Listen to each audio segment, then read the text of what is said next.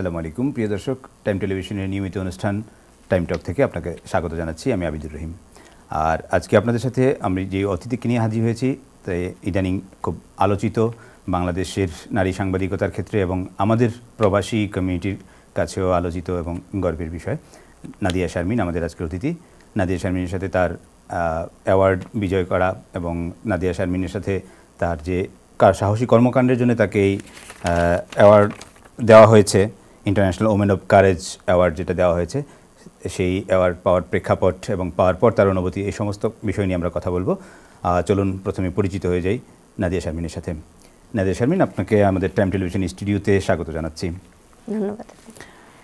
আপনি আমাদের শুধু নারী সাংবাদিকতা জগতের ই না এখানে যে স্টেট ডিপার্টমেন্ট গত ছয় মার্চ আপনাকে যে অ্যাওয়ার্ড দিয়েছে, যে international women of courage award সেই অ্যাওয়ার্ডের কারণে আমাদের গোটা বাংলা, বাংলাদেশি যে প্রবাসী কমিউনিটি সেই কমিউনিটির কাছেও পরিচিত মুখ এবং গর্বেরও বিষয়। তো আমি আপনার এই অ্যাওয়ার্ড পাওয়ার প্রেক্ষাপট যদি জানতে চাই, তা আপনি কি বলবেন যে আসলে মানে কেন আপনাকে এই অ্যাওয়ার্ড পাওয়ার জন্য তারা নির্বাচিত করল? এবং এই ক্ষেত্রে তারা কি কি বিবেচনায় নিয়েছে বলে আপনার মনে হয়? কিংবা আপনি কি মনে করেন যে এই ক্ষেত্রে শুধু একটি দুটি ঘটনাই কাজ করেছে না আপনার টোটাল কেরিয়ারের বিষয়গুলো কাজ করেছে? আপনি যদি আমাদের দর্শক উদ্দেশ্যে বলেন। ধন্যবাদ। ধন্যবাদ আপনাকে। ধন্যবাদ টাইম টেলিভিশনকে আমাকে আমন্ত্রণ জানানোর জন্য এবং আমাকে এই ধরনের সম্মান দেওয়ার জন্য অনেক ধন্যবাদ।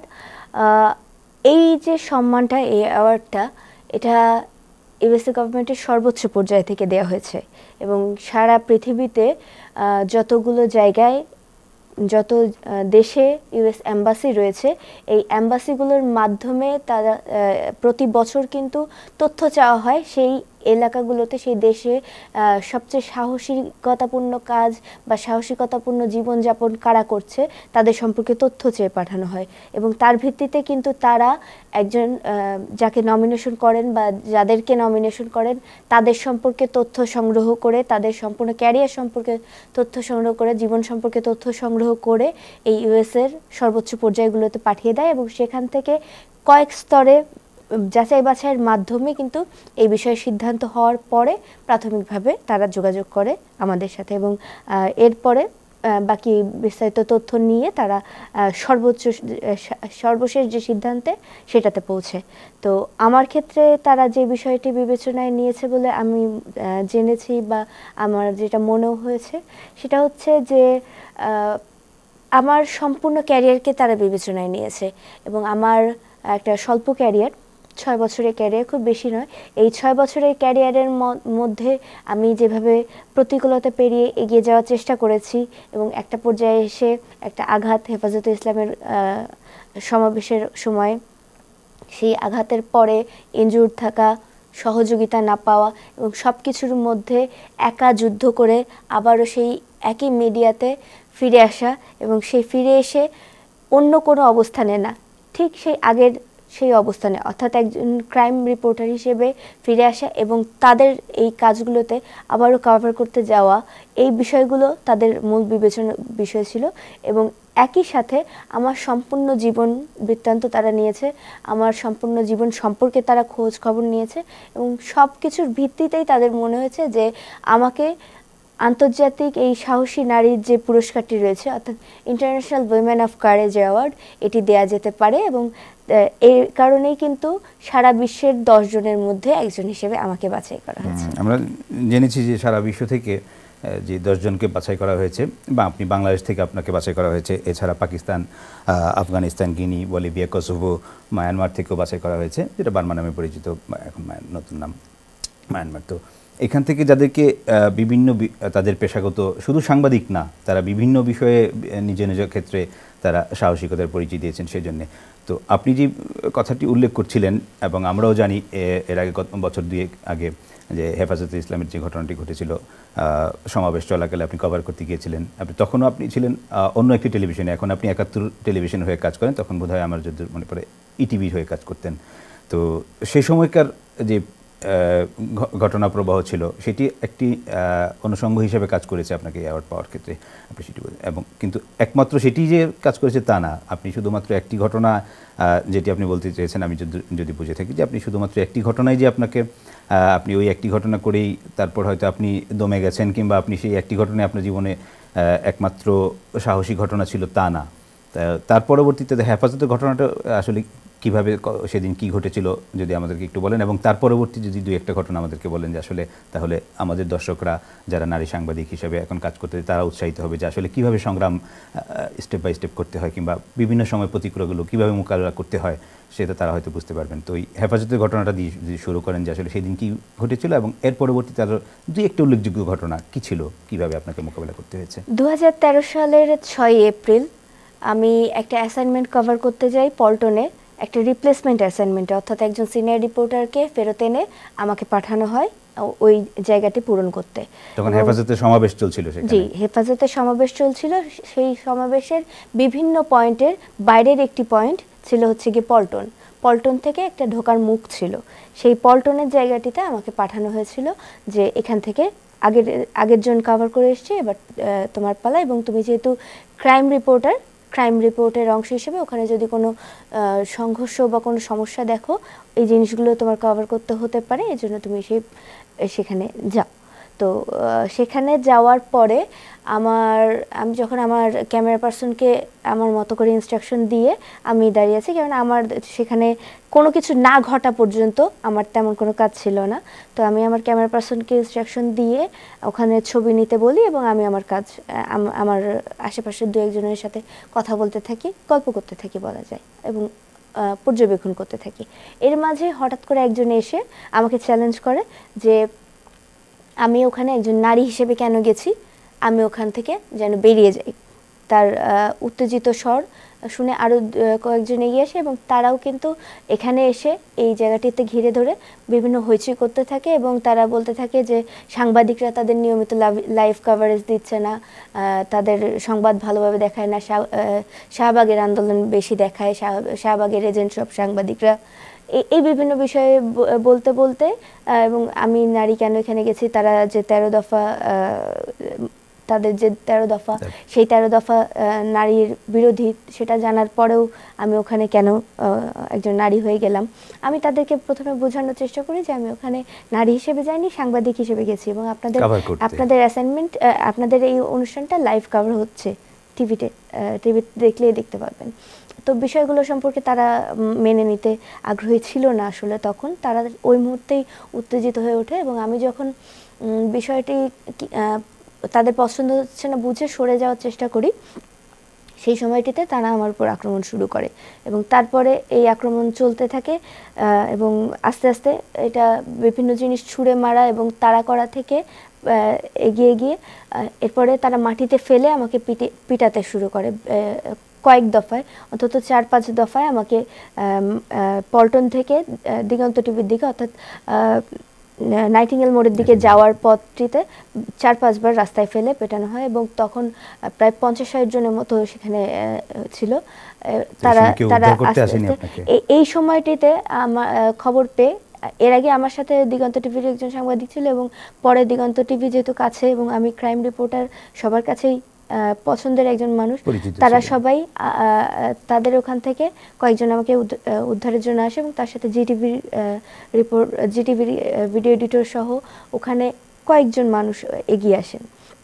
এবং তাদের সহযোগিতাতেই মূলত আমি বেঁচে ফিরেছি। তাদেরকে তারা আমাকে নিয়ে একপাশে কোনো বহু আঘাতের পরেও তারা আমাকে সরিয়ে নিয়ে একপাশে কর্ডন করে ফেলতে সক্ষম হয় এবং এই কর্ডন করে ফেলার পরে সর্বশেষে পুলিশ এসে আমাকে একটা গাড়িতে তুলে দেয় এবং এই গাড়িতে গাড়িতে করে আমাকে হসপিটালে নিয়ে যাওয়া হয়। এরপরে তো চিকিৎসা পাঁচ মাসের বেড রেস্ট এবং এরপর? দুইটা অপারেশন হ্যাঁ, দুইটা অপারেশন। গেল সেদিনকার ঘটনা এবং সেদিনকে আপনি সাহসিকতার সাথে যে অনুষ্ঠান কভার করতে গিয়েছিলেন তারপর যে পরিস্থিতির মুখোমুখি হয়েছেন সেখান থেকে ফিরে আসা। তো তারপর একজন নারী সাংবাদিক হিসেবে কাজ করতে গিয়ে এর পরবর্তীতে আর আর কি ধরনের বড় বড় চ্যালেঞ্জ ছোটোখাটো অনেক চ্যালেঞ্জই তো আসলে মোকাবেলা করতে হয় সবাইকেই করতে হয়। বিশেষত নারী সাংবাদিকদেরকে আমাদের দেশের প্রেক্ষাপটে বেশি করতে হয়। কিন্তু আর আপনার চাকরিগত চাকরির আমার আঘাত আমার আঘাত বিষয়টা যত বড় চ্যালেঞ্জ ছিল তার চেয়ে বড় চ্যালেঞ্জ ছিল আঘাত পরবর্তী অবস্থানটা। কেননা আঘাত পরবর্তী অবস্থানে আমার চিকিৎসা প্রয়োজন ছিল। আমার জীবন ধারণের জন্য আর্থিক বিষয়টা থাকে সেই বিষয়গুলো ছিল।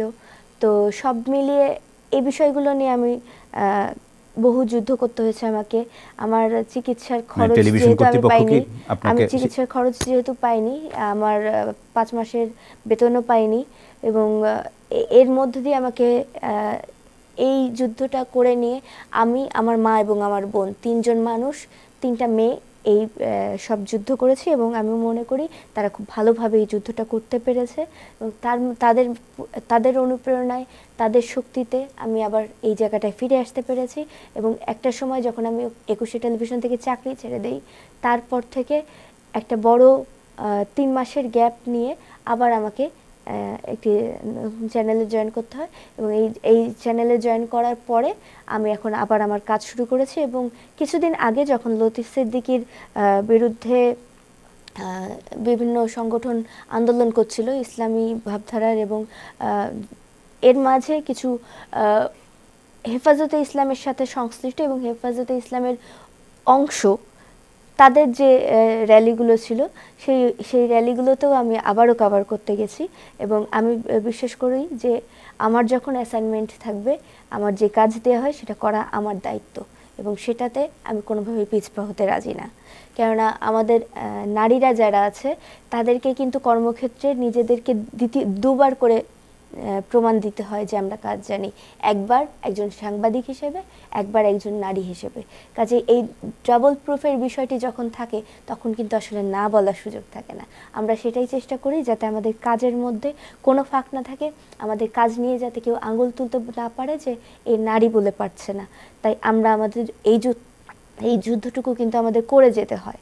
এবং সেজন্য আমি আমার কাজ আমার মতো করে করে যাচ্ছি এবং চেষ্টা করছি, সর্বোচ্চ চেষ্টা করছি সততার সাথে যতটুকু সম্ভব হয় সমাজের অনিয়মগুলো তুলে আনার এবং সেক্ষেত্রে কোনো বাধা আমার সামনে বিবেচ্য বিষয় না। আমি মনে করি আমার কাজ আমাকে করতেই হবে, আমি বেঁচে থাকি আর মারা যাই। আচ্ছা আপনি যেমনটি বলছিলেন যে তারপর আপনাকে আবারও যখন অন্য একটি চ্যানেলে আপনি জয়েন করেন অন্য একটি টেলিভিশন জয়েন করেছেন। তো জয়েন করার পর আবারও আপনাকে একই ধরনের অ্যাসাইনমেন্টে দেওয়া হয়েছে, আপনি গিয়েছেন। তো তখন কি আপনি সেখানে আবার নতুন কোনো সমস্যার মুখে পড়েছেন? এখন এই এই পরবর্তীতে? আমি আমি তাদের মধ্যে এখনও পর্যন্ত কোনো পরিবর্তন সেভাবে লক্ষ্য করিনি চিন্তাধারার। আমি এখনও তাদের মধ্যে কট্টর নারী বিরোধী মনোভাব দেখেছি। তারা আমাকে বা তারা কোনো নারীকে এখনও পর্যন্ত সেখানে গ্রহণ করতে আগ্রহী না। এবং আমি মনে করি চিন্তাধারাটা পাল্টানো দরকার। হয়তো কখনো পাল্টাবে, আমরা অপেক্ষা করছি আসলে। যতদিন না পাল্টায়, ততদিন পর্যন্ত আমরা আমাদের কাজ যেটা আছে, আমাদের দায়িত্ব যেটা আছে, সেটুকু পালন করতে থাকব। এবং আমরা মনে করি যে আমরা যদি আমাদের দায়িত্ব সঠিকভাবে পালন করতে থাকি, একটা সময় এসে মানসিকতার পরিবর্তনটা হবেই। সব কিছুই কিন্তু একটা অনেক অনেক ত্যাগ, অনেক কষ্টের মধ্যে দিয়ে এগোয়। কোনো অর্জনই কিন্তু সহজ না। নারীর ভোটাধিকার অর্জন থেকে বলি আর যে কোনো কিছুর অর্জন থেকেই বলি। সব কিছুর মধ্যেই কিন্তু কাটা বেছানো থাকে। তা তো তো এই ক্ষেত্রে আমি একটা জিনিস যদি জানতে চাই আপনার কাছে যে আপনি তখন যখন প্রথম আক্রান্ত হন দু হাজার তেরো সালে তখন ছিলেন আপনি আগের অন্য একটি চ্যানেলে। তো এখন আরে, নতুন আরে অন্য আরেকটি চ্যানেলে জয়েন করেছেন। তো কিন্তু কাজটা একই রকম করতে হচ্ছে। তো টেলিভিশন কর্তৃপক্ষের আপনার যে প্রতিষ্ঠানের যে সাপোর্ট, যে সহায়তা সেটার কি কোনো পরিবর্তন হয়েছে আপনি মনে করেন? আমি মনে করি নতুন এই প্রতিষ্ঠানে আমাকে যথেষ্ট সাহায্য করা হচ্ছে সাপোর্ট দেওয়া হচ্ছে এবং আমার কাজের বিষয়টি নিয়ে তারা আগ্রহী। আর বাকি কাজ তো আমার উপরে আমার করতে হবে কাজ এবং নিজেকে প্রুভ করার বিষয় তো থাকছেই। আর বাকি যে সমস্যাগুলো থেকে থাকে সেগুলো সব প্রতিষ্ঠানেই থাকে। সব মিলিয়ে ক্যারিয়ার গড়ে তোলার দায়িত্ব আমার। আর প্রাথমিক যে সহযোগিতা আমার পাশে দাঁড়ানোর বিষয়টি, সেটি কিন্তু আমার চ্যানেল করছে এবং ভালোভাবেই করছে।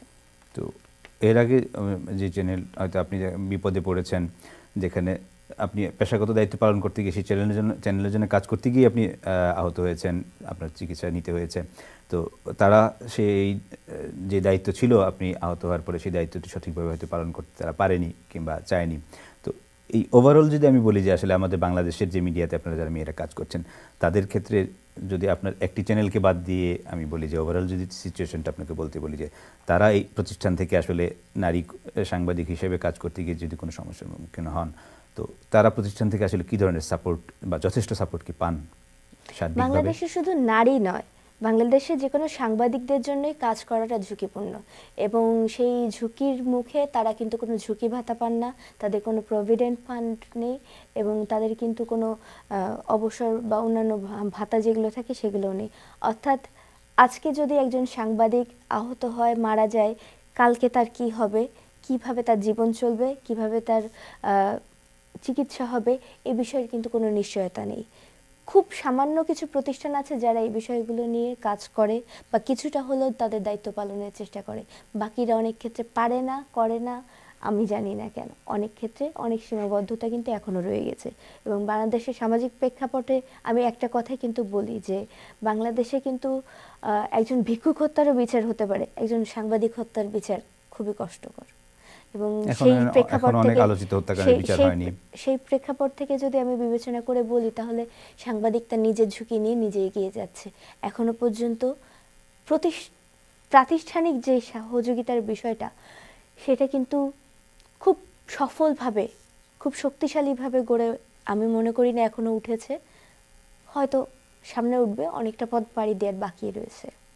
এটা তো সার্বিকভাবে সব প্রতিষ্ঠানের ক্ষেত্রে এবং সার্বিকভাবে সব সাংবাদিকদের ক্ষেত্রে বললেন যারা মাঠে কাজ করে নারী পুরুষ নারী পুরুষ নির্বিশেষে তো এক্ষেত্রে নারীদের কি বিশেষ কোনো সমস্যার ক্ষেত্রে বা বিশেষ কোনো সাপোর্ট দেওয়ার ক্ষেত্রে কোনো অনীহা বিশেষভাবে আপনার নজরে পড়ে বাংলাদেশের মিডিয়ার আসলে জীবনের প্রত্যেকটা ক্ষেত্রের মতো কিছু যে কিছু বৈষম্য যেমন থাকে সাংবাদিকতা তার ব্যতিক্রম কোনো জায়গা না। এবং সাংবাদিকতা যেহেতু একটি পেশার জায়গা বাংলাদেশে নারীদের অবস্থান যে এরকম বাংলাদেশের পেশাগত জায়গাগুলোতে নারীর অবস্থান যে এরকম আহ, সাংবাদিকতাও কিন্তু তার থেকে আলাদা না। কাজে অন্যান্য জায়গায় যেমন বৈষম্য আছে, সাংবাদিকতাতেও বৈষম্য আছে। এবং সাংবাদিকতাতে হয়তো ভিজুয়ালি অনেককে দেখে নিয়ে মনে হয় যে, না, অনেক নারী সাংবাদিকতা এসছে। কিন্তু আপনি চিন্তা করে দেখেন যে, সাংবাদিকতার সর্বোচ্চ পর্যায়ে একদম ডিসিশন মেকিং লেভেল যেটাকে আমরা বলি, সিদ্ধান্ত গ্রহণের ক্ষমতা নেয়া ক্ষমতা যাদের আছে, এরকম নারী আমরা কতজনকে পাই? এবং সেই জায়গাগুলোতে যাওয়ার পথটা কি খুব সুগম? সেই পথটা কি সহজে একজন নারী শুধুমাত্র তার যোগ্যতা দিয়ে দাঁড়িয়ে যেতে পারে সেখানে নাকি তাকে অনেক বেশি বাধার সম্মুখীন হতে হয়? সেই বিষয়টা কিন্তু আসলে চিন্তার বিষয়। আমাদের আমার আমার ব্যক্তিগত অবস্থান বা ব্যক্তিগত মতামত থেকে মনে হয় যে বাংলাদেশের সর্বোচ্চ পর্যায়ে নারী যেতে এখনও পর্যন্ত প্রতিবন্ধকতা রয়ে গেছে। এবং একই সাথে নারী নারী সম্পর্কে, মিডিয়ায় নারী সম্পর্কে একটা চিন্তাধারা রয়েছে। যত নারীর যত বয়স হয়, তত সে অপ্রয়োজনীয় হয়ে পড়তে শুরু করে এবং পুরুষের যত বয়স হয়, সে তত অভিজ্ঞ হয়ে উঠতে শুরু করে। এই এই ধরনের চিন্তাধারা নিয়ে কিন্তু আমাদের মিডিয়া এখন এগ- এগোচ্ছে। মিডিয়াতে কিন্তু এখনও নারী গ্ল্যামারের বিষয় এবং পুরুষ অভিজ্ঞতা যোগ্যতার বিষয়। এই চিন্তাধারা, এই সীমাবদ্ধ চিন্তাধারাগুলো নিয়ে কিন্তু এখনও আমাদের মিডিয়া কাজ করছে। সব ক্ষেত্রে হয়তো না, কিছু ক্ষেত্রে হয়তো পরিবর্তন হয়েছে, কিন্তু এখনও সেখানে সেই চিন্তাধারাগুলো রয়েছে। সেটা যতক্ষণ পর্যন্ত ঠিক না হবে, ততক্ষণ পর্যন্ত যে বৈষম্য আছে, যে সমস্যাগুলো আছে, যোগ্যতার যাচাইয়ের যে জায়গাটিতে যে সমস্যা রয়ে গেছে, সেটি কিন্তু থেকে যাবে। আমাদের সময় শেষ হয়ে যাচ্ছে যে সংক্ষেপে ছোট্ট করে যদি জানতে চাই যে এই ক্ষেত্রে, এই বৈষম্য দূর করার ক্ষেত্রে আপনার স্পেশাল বিশেষভাবে যদি আপনি বলেন, আপনার সাজেশন কি যে বাংলাদেশে আপনি যারা ফিল্ডে কাজ করছেন, আপনি সমস্যা নিজে দেখছেন এবং মূল্যায়ন হওয়া না হওয়ার বিষয়গুলো আপনি নিজ থেকে অনুভব করছেন? তো এই ক্ষেত্রে যদি খুব সংক্ষেপে বলতে বলি যে আপনার সাজেশন কি যে নারীদের, বিশেষ করে তারা কি করা উচিত? আমি বলব যে আসলে যেটা বললাম যে কোনো পথই সুগম না। কোনো কিছুই সহজে অর্জন করা যায় না। এখন আমরা জানি বৈষম্য আছে, আমরা জানি সমস্যা আছে। সেই জায়গাগুলো থেকে আমরা কারও কাছে সহযোগিতা চাইলেই যে পাবো এমনটা না। আমরা কারও কাছ থেকে সমাধান চাইলেই যে সমাধান দিয়ে দেবে এমনও বিষয়টা না। সমাধানের পথটা আসলে আমাদের নিজেদেরকেই চেষ্টা করতে হবে এবং সেই চেষ্টা করার পথে সামনে যারা থাকবে তারা অনেক ভুক্তভোগী হবে। কিন্তু পরে যারা আসতে থাকবে, তাদের জন্য একটা সুগম সুগম পথ তৈরি করে দিয়ে যেতে হবে আমি মনে করি। এবং সেই পথটার তৈরির কাজ আমাদেরই করতে হবে। যারা আমরা এগিয়ে যাচ্ছি, তাদেরকেই কিন্তু পরের মানুষদের জন্য সহজ করে দিতে হবে জায়গাটা, যাতে তারা এসে দাঁড়াতে পারে, তারা এসে তাদের যোগ্যতার প্রমাণ দিয়ে তারা কতটুকু পারে, তারা কতটুকু প্রয়োজন তাদেরকে, সেটার প্রমাণ দিয়ে এই মিডিয়াতে নিজের বলে দাঁড়াতে পারে। অন্য কারও বলে না সম্পূর্ণভাবে নিজের শক্তিতে দাঁড়াতে পারে। ধন্যবাদ আপনাকে। আমরাও আশা করি যে এই সীমাবদ্ধতা এবং যে বৈষম্যের বিষয়টি রয়ে গেছে এখনও সেই সীমাবদ্ধতা এবং বৈষম্যের বিষয়টিকে মাথায় রেখেই নারীরা নিজের যোগ্যতা এবং মর্যাদার অবস্থান ঠিক রেখে দমে না গিয়ে এগিয়ে যাওয়ার প্রত্যয় নিয়ে কাজ করে যাবে। যাতে আপনি যেটা বললেন যে ভবিষ্যতে যারা আসবেন, তারা হয়তো আরও একটু মস, হয়তো পুরো না পেলেও একটু মসৃণ পথ পাবেন। আপনাকে আমাদের স্টুডিওতে এসে আমাদের আলোচনায় অংশ নেওয়ার জন্য আবারও ধন্যবাদ জানাচ্ছি। আপনার ভবিষ্যৎ আরও উত্তর উত্তর সমৃদ্ধি এবং যাত্রাপথ সুন্দর শুভ হোক সে কামনা করছি। আপনাকেও ধন্যবাদ। টাইম টেলিভিশনকেও ধন্যবাদ। প্রিয় দর্শক সাহসী নারী নাদিয়া শারমিনের সাথে আলাপচারিতা শুনছিলেন। আমাদের টাইম টক আজকের মতো এখানে শেষ করতে হচ্ছে। আগামীতে নতুন কোনো নারীকে নিয়ে কিংবা নতুন কোনো অতিথিকে নিয়ে আপনাদের সামনে নতুন কোনো বিষয় নিয়ে আবার হাজির হব। সে পর্যন্ত সবাই ভালো থাকুন সুস্থ থাকুন। আল্লাহ হাফিজ। Música